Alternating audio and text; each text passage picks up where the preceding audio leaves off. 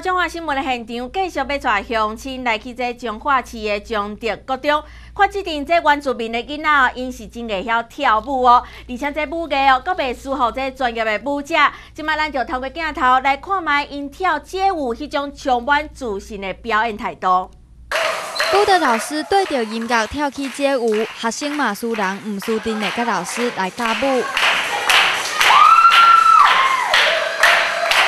除了跳街舞以外，这群囡仔嘛中学在练习十九号这礼拜日要新歌表演的节目。虽然是暑假活动，学校嘛无强逼学生参加，不过就是有学生排除万难来学校跳舞。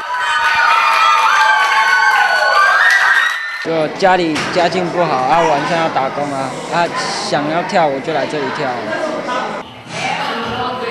毛学生讲，接受街舞了后，才知影家己有偌介意跳舞，就比较兴趣跳舞，就来来学校参加这个街舞来跳。中地高中校长表示，学校有真侪关注民学生，老师发觉因伫音乐甲舞蹈方面相当的有天分，才利用暑假和囡仔有发挥的舞台。原住民的孩子呢，他们对音乐跟舞蹈非常的有天分，我们就安排了这个街舞的活动。小孩子学了这个活动以后，他们告诉我说：“校长，我非常的有成就感，我将来要做更大的事。我本来不知道我可以做的这么好。”本身就是舞蹈老师的管理员黄千燕，是这个舞蹈营发起人之一。嗯，议员嘛讲，办这个舞蹈营，和伊有找到宝的感觉。我好像挖到宝一样，我第一次看到这么多原住民的孩子呢，能够来学习街舞。那他们天生的音乐感呢，让他们能够在肢体上面有更大的呃一个一个挥洒哈。在高考这礼拜日，这群囡仔特别伫彰化市的原住民馆来呈现学习的成果，分享原住民囡仔伫音乐甲舞蹈方面的天分。多张新闻就是梁中华采访报道。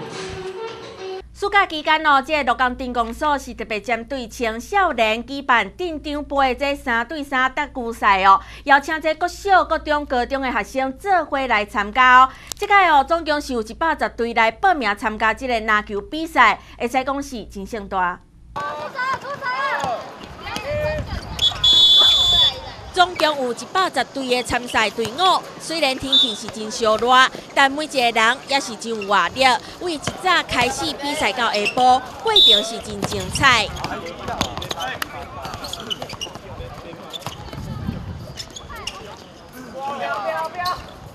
天气这么热，我们看到这些年轻人啊，他们都很踊跃的参加，那比赛也相当的激烈啊。我们希望这些年轻人在这个暑假的最末端哦，能。得到一个很好的回忆，也希望他们今天比赛都有很好的成绩。凭着少年人特有的战斗力，一场场就有上好的表现。无论卡位、过人、上篮，甚至是扣篮，拢在篮球场顶面一一出现。运动吼，特别搁伫咱这个体育场的边仔吼，啊设一个这个即摆已经起码好的一个这个风雨球场。我想这个风雨球场若起好吼，啊这个唔惊风唔惊。唔惊雨吼，后摆只运动的选手吼，总会当第一个啊来这个运动。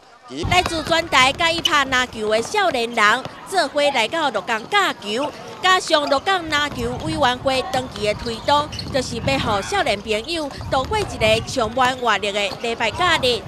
大中华新闻林桂英鹿港采访报道。为伫这菲律宾东边的这热带性低气压哦，灾区的八点已经转为今年第十三号的风台启德。按照这目前的路线来看哦，可能会往咱台湾这边来刷叮当哦。拜三时阵哦，会使讲是上界接近咱台湾。拜二受到这西南气流这旺盛的影响，中部以北局部地区哦，这中昼过后会有出现雷阵雨，这雨势会又搁急又搁大哦。乡亲是爱注意这饮水的状状况来发生哦。过来来关心各地天气状况。